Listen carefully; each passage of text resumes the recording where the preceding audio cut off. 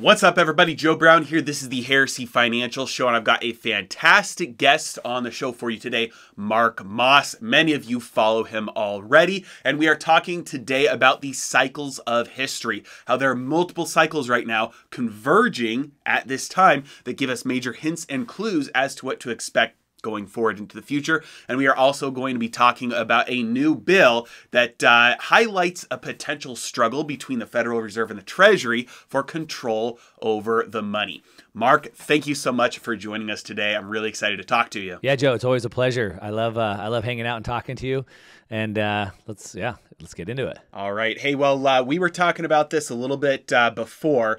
Um, there are a couple of things going on uh, massive things in the world right now. Um, from a really long term perspective, if we kind of back out of this, look at what's going on with a you know an eagle eyes view of history. There are, uh, uh, you know, history doesn't repeat, but it rhymes, and there are cycles that we can look at. And this is a thesis you've been developing for a while now that there's not just one cycle going on, but multiple give us a, a broad overview of what you see historically right now. Yeah, yeah, there is so much going on. I keep thinking about this quote. I, I, I, say it all the time, but Vladimir Lenin said there's decades where nothing seems to happen, and there's days where decades seem to happen, and that's kind of where we're at right now. I remember I've been doing videos on my YouTube channel since 2018, and uh, mostly around Bitcoin. And uh, I remember 2019. 2018 and 2019, like, man, I started running out of things to talk about there was just like nothing going on. And now today it's like i need to make a couple videos a day right? So it's like that's that's kind of where we're at in this cycle. But um yeah from a super high level about a year and a half ago i kind of put this thesis together of these three revolutionary cycles that are converging right now. And the reason why that's important to look at three of them is because just like any financial indicator one isn't conclusive. And so you're trying to look for multiple indicators that are all telling you kind of the same thing. And so um, what i see i recently read uh, ray dalio's new book uh, the new world order or uh, changing world order whatever is a great book book. Amazing book. So much research. I mean, thick with charts. I mean, super, super good. I've been reading a lot about uh, Zoltan Pozsar's latest work. I'm sure you've been reading it as well. He's been talking about this kind of uh, um, Bretton Woods 3 kind of thesis that he has, which has been great. Um, and and those are great. And Ray Dalio's nailed it with this long term debt cycle. It's an 80 year um, long term debt cycle. I call it a financial revolution cycle. Great. Um, but then there's other ones that we need to look at as well. And so some of the other ones we look at is that on a 250 year time frame, we have a political revolution cycle. So about every 250 years, it's like a pendulum swinging back and forth. We we kind of max out at peak centralization or peak globalization, and then the world swings back towards decentralization. 250 years ago, the American French Revolution Revolution, pushing back on the centralization of the kingdom, the monarchy, setting up a decentralized government, the Republic in the United States. 250 years before that, Protestant Reformation. And so, on a 250 year time frame, we have this political revolution cycle, which is happening right now. Um, of course, the 80 year uh, financial revolution cycle, like I said, Ray Dalio talks about the long term debt cycle, 80 years. But then there's one more, and this is the one where Ray Dalio just. I, I, all credit to Ray Dalio. His book's amazing. He's he's forgotten more than I'll ever know. His his research team is amazing.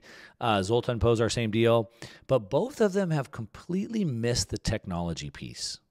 They haven't. They they, they don't even mention it. And and we have an 80 year long term debt cycle, financial cycle, a 250 year political cycle, but we have a 50 year technological revolution cycle. Um, and it's happening right now. So, about every 50 years, we have a technological revolution, not a technology. An iPhone is like a new technology, it's like a, a phone and a computer. We'll put them together. That was an improvement. A technological revolution is two things one, it changes the course of humanity, and two, it drives all financial markets. The last one, 1971, was the age of the microprocessor, which brought us telecommunications, internet, Zoom, or whatever what we're doing right now. The one before that, 1908, oil, automobiles, mass production. Before that, steel, electricity. And so the, each of those changed the course of humanity. Of course, with cars, everyone walked or rode horses for all of humanity. And then we had we had transportation.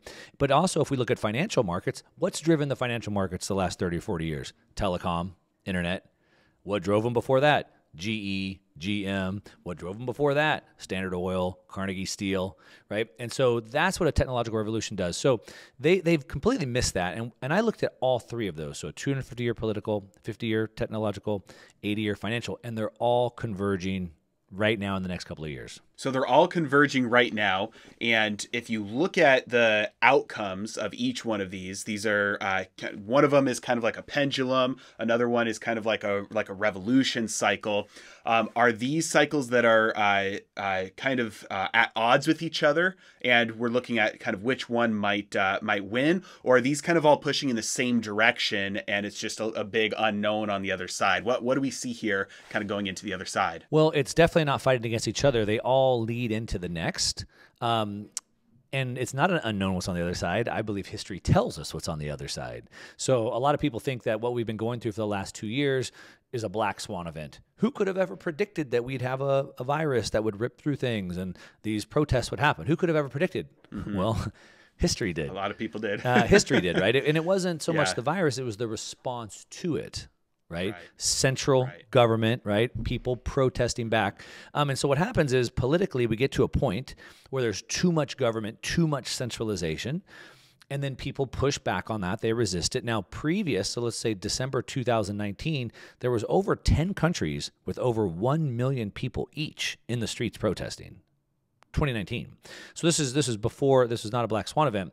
But what happens is politically, socially, we get to a point where we need change, and then we're supposed to have solutions coming to problems.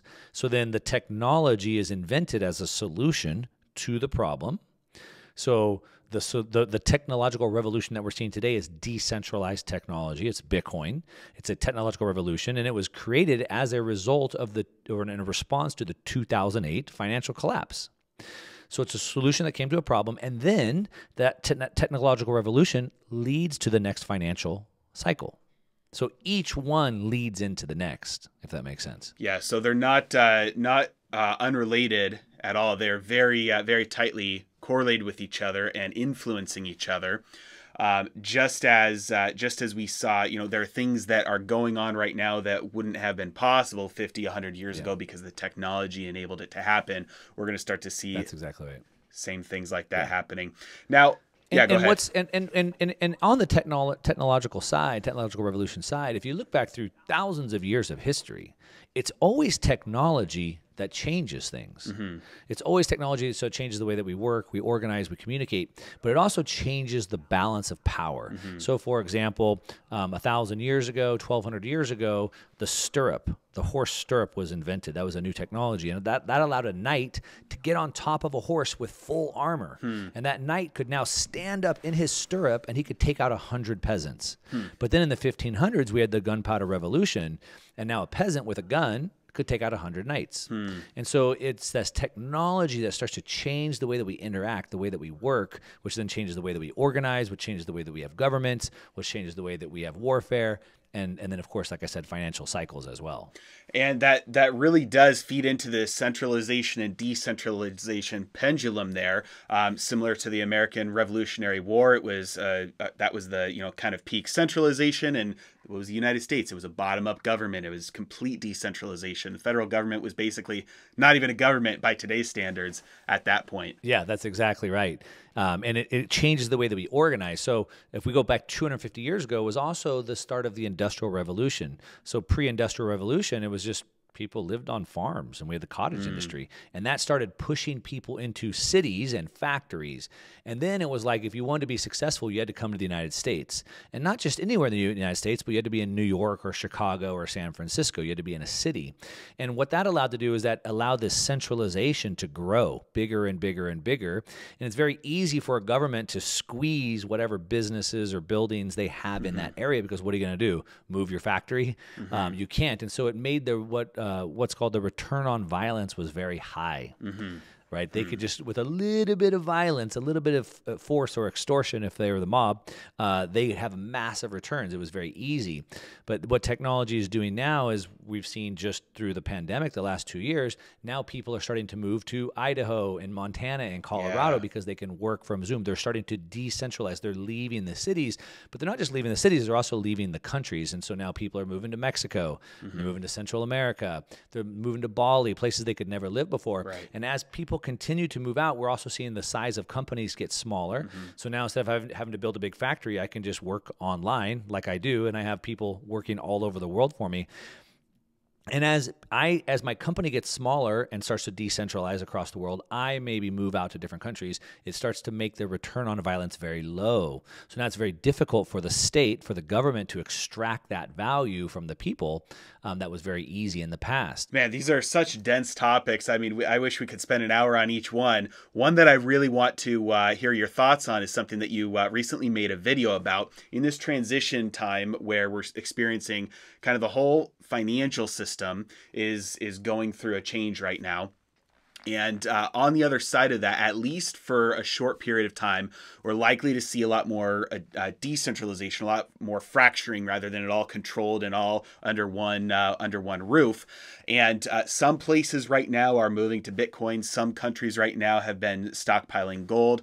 Some countries won't do either, and they'll try and use force to get a central bank digital currency. But you've been talking about a recent bill that was uh, introduced where the Treasury might be put at odds with the Fed in developing its own uh, digital dollar, which is not technically a central bank digital currency. Tell us about what is going on there. Yeah. So, of course, right, at a, at a time of turbulence, there's massive volatility. And so everybody's fighting for this power. And so, what, what we've seen all over the news is this central bank digital currency, a CBDC. Of course, China rolled theirs out already. We hear about the, the you know the Federal Reserve trying to roll theirs out, even the IMF potentially rolling out a SDR CBDC, um, and but we have all this volatility. If we had a more time to d- dig into this, um, there's a lot of geopolitics that are going on right now, and so. Um, you know, from a Bitcoin perspective, and even if you're listening to this and you're not into Bitcoin, you would say, well, um, there's no way the central banks will ever give up the control of money there's no way they'll ever allow cryptocurrencies or Bitcoin to succeed. They'll never give that up. And I would say you're right, they won't. Um, F.A. Hayek famously said in 1980 that there will never be a sound money again until it's taken from the hands of the government, but not by force, but a sly roundabout way. Um, but I would agree that the central banks wouldn't give that up. But if that's the case, and I agree that it is, then why would the New York Jamie Dimon Fed cede power and control to the ECB? Mm-hmm. Well, uh, the answer is they won't. Yeah. And they also don't want to cede power and control to the government either. And so, to your point, there's this power struggle going on. And just recently, there was a bill submitted that allows the U.S. Treasury, which is the government, to create its own money, an, a digital dollar, an e cash. Um, and this has historical significance. So, in the article, they actually called it like a greenback and the significance of that is that in the Civil War, Abraham Lincoln needed more money. And one of his advisors said, Hey, uh, you don't need to go to the Federal Reserve and borrow money. I'm sure most of your listeners know you do a good job educating them, but most of your listeners know the Federal Reserve doesn't have the money. They create it from thin air. They give the reserves to the government, and the government has to borrow it from the Fed. Um, and so Abraham Lincoln's advisor said, Why do we need to go borrow money from them when they don't even have it? Um, why don't we just create our own? They did. They used green ink, so they called them greenbacks. A lot of people in the United States think that's just like slang for a dollar. Of course, um, Abraham Lincoln got assassinated. Other than just me speculating, maybe it had something to do with him going against the Federal Reserve. Maybe, maybe not. But what's interesting is they're now referencing this greenback and saying the government, the Treasury, should just create its own money again instead of borrowing from the Federal Reserve. Um, and that's where we're at. So now we have all these, uh, let's say, call them factions inside the government and even multinational governments all starting to compete for the control over the money. Yeah, absolutely. So at the time, you know, when uh, when uh, Abraham Lincoln was looking at this, he was basically saying, "Hey, look, we can go to the uh, the national banks and we can get the money, uh, or we can just print it." And it was looking, you know, because obviously the the Federal Reserve was started in 1913, and so uh, presidents that came after that were able to tap that, and they were saying, "Hey, we can get free money. So Abraham Lincoln was a little bit of a pioneer here, uh, since he didn't have a central bank to rely on. He said, "Let's just do it. You know, let's have the Treasury do it." And now uh, there's that that option is coming up again. Um, my question my, my question for you would be do you do you anticipate this would be something that they're laying the groundwork for so that when the federal reserve notes the, the us dollar fails they can say hey well it failed uh, because of all these problems, and our new digital dollar at the Treasury will not have those problems, so it'll work better? Or do we are you anticipating a power struggle here where uh, they're going to try and uh, you know somebody's going to try and win here? Uh, uh, first off, you're right. Uh, the the Federal Reserve was not around at the time of the Civil War, so but there was a national bank, and so Right, they were trying to get this the central bank installed in the U.S. There was several Right. iterations of that before the the formal IRS or Federal Reserve Bank. Mm-hmm. Uh, but back to your uh, question, I believe it's a it's a it's a power struggle, Mm. and so what we're what we're seeing is that we have two different factions in the United States. This gets a little bit into the geo, geopolitics of it all, but we have the kind of Obama Biden White House admin going along with the Davos European ECB crowd.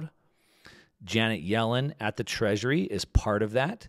And what I mean by that is we see that this Davos Euro ECB crowd is very pro green, right? Pro equity, this and that. Uh, we saw that um, after the Glasgow, the COP26 meeting last year, they wanted to, they come out with this bill that was approximately 150 trillion dollars to combat climate change. 135 to 175 ish call it 150 150 trillion that's six over 30 years that's 6 trillion a year for 30 years but what happened is um, June of 2021, Jerome Powell from the Fed met with um, Christine Lagarde from the ECB, and he said, "Hey, hang, hang on. Um, the Fed's mandate is not climate change. The Fed has very clear mandates, and that's, of course, stable prices and and uh, low inf- stable prices and full employment." He said, "We're not doing that. Like, we're not printing money to go save the climate."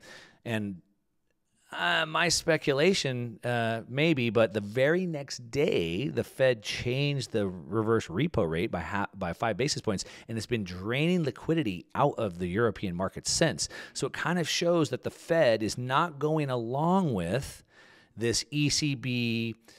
Obama, Biden, kind of Euro Davos crowd of climate change, of course, and Yellen is all in on that. Yellen has, from the Treasury, has been saying this many times, and so I think it's a power struggle where the Fed is not going along with what the uh, current U.S. administration wants, and so the U.S. administration with Janet Yellen at the helm is like, all right, then we'll just make our own currency, and we'll do what we want. Forget the Fed. And uh, for for anybody who doesn't know what you're you're you're saying that there's a power struggle there because the Fed is not a government agency like the Treasury is a department of the government. The Fed has has a different structure. They're private, quasi private. That's right. Quasi private. Um, and it's very interesting. So they, they don't have to go along with what the administration wants. As a matter of fact, the Fed was put together in such a way that the administration, whatever presidential administration is in power, can't really change the Fed, right? So the, the president can elect some board governors, but there's 12. I believe they can only do, uh, is it one per term? Uh, don't quote me directly on that. One or two per term. And so let's say that they the, the president wanted to change the power structure of the Fed, which is made up of the bank governors, right? 12 of them. Um, he wouldn't be able to change enough to ever get the vote. And of course, the Fed could just destroy the economy and get whatever president out that they wanted, right? Um, and so it is this quasi, semi, it's definitely more private than public for sure. Uh, but it sounds like, and, and again, so this goes back to the bigger geopolitical thing. If the Fed, the New York Jamie Dimon Fed doesn't want to cede power and control to the ECB, then they're going to have to save the dollar. They need the dollar to remain strong. And it looks like they've gone and said, wait a minute, these green policies, 150 trillion over the next 30 years, is going to destroy the currency, destroy the dollar. We'll lose control. So, no, we're not going to do that. We're going to save the dollar. We're going to keep our position. And I think that's this power struggle back to the point of the Treasury saying, fine, then we'll just print our own money. Well, it's uh, it's really interesting because, like you said, not only are we seeing this conflict and this uh, uh, struggle and uh, this uh, these cycles converge on like a global scale, but even at the at the level between the Fed and the Treasury, we're starting to see little things like this happen. Which, uh, But but but but why we're seeing all these little things happen is because of the three cycles that Yeah. are converging right now. Yeah, yeah, and um, uh, looking looking through the the lens of those cycles, looking and seeing, hey, we're going to get new systems out of this. Things are going to be rebuilt, kind of on the other side of this. Um, you don't even necessarily need a, an alternative that is exponentially better than the system that we have right now because the system that we have right now is collapsing. And so anything that just works will last. And uh, so you know we've we, we could you know like i said probably go hours and hours into these topics. Um, but uh, yeah, it's it fascinating uh, hypo- uh, uh, thesis that you've been putting together on these cycles, and um, we're going to be talking more about this in just a couple of weeks in person in Dallas at Market Disruptors Live. That's right. I'm super excited to hang out and, and share the rest of it with you because there's just so much fascinating stuff, and I love being able to bounce stuff off like uh, off uh, off of you like that. So, um, yeah, Market Disruptors Live coming up in Dallas. Can't wait to hang out with you for a couple of days. Um, I'll be talking more about this thesis in greater detail, sharing the charts and graphs, uh, the receipts as I as I call them. Um, so showing you showing you the receipts on that, and kind of uh, like I said, it's not for me anyway. I think history tells us where this goes. So it's not like we don't know what's going to happen. No, I think we do pretty clearly know what's going to happen. Um, and so I'm going to share what the what what I think that is, and of course how we should be preparing for that. Yeah, yeah, absolutely. Well, I highly recommend everybody who has the ability. I've got the link in the description below for everybody to sign up, and uh, love to see you guys there. Have a drink with you guys and uh, learn about what's happening now, what's coming in the future, how to prepare, save, both uh, preserve wealth and create more wealth through the transition. Um, exciting times. Yeah. Thanks so much, Joe. Always a pleasure. Thanks for being on.